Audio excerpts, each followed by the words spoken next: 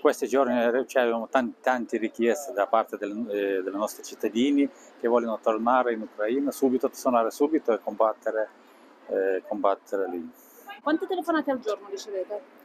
Mm, non so, 500, 600. Eh, ci sono due operatori che rispondono al telefono. Adesso, come, come sapete, l'aereo, eh, spazio aereo è chiuso, non si, può, non si può raggiungere l'Ucraina con aereo. Allora adesso cerchiamo la possibilità eh, per i nostri cittadini andare, andare lì. Chiediamo ai nostri cittadini di rivolgersi ai nostri uh, pullman privati che vanno in Ucraina oppure andare a Polonia, andare a Ungheria poi eh, con aereo e in questo modo possono andare più, mm, con, con, la macchina eh, fino a Ucraina. Che notizie arrivano intanto dalla, dal suo paese?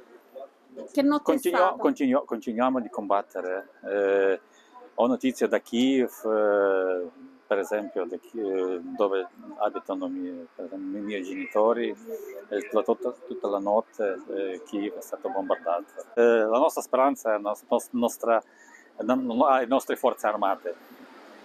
E, noi, noi, vogliamo combattere. Questa è la uh, guerra che è cominciata la Russia contro gli non, non ucraini. Infatti siamo in guerra, in guerra dal 2014.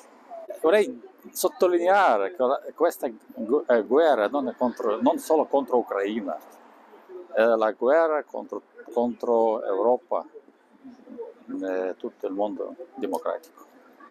Secondo me la nostra gente, la nostra gente è un po' disperato, disperato nel senso di mancanza di appoggio da parte dell'Unione Europea. Abbiamo tanti bisogni, per esempio di armi, eh, appoggio più forte, eh, aiuto umanitario. Console, secondo lei quanto durerà questo conflitto, quanto durerà questa guerra? Fino alla nostra vittoria.